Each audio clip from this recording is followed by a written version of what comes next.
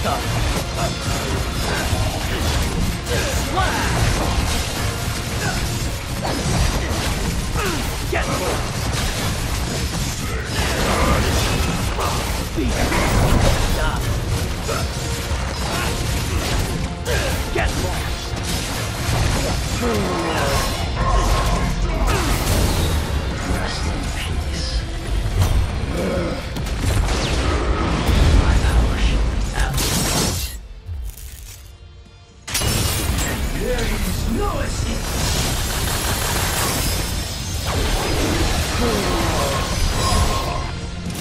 Now I'm.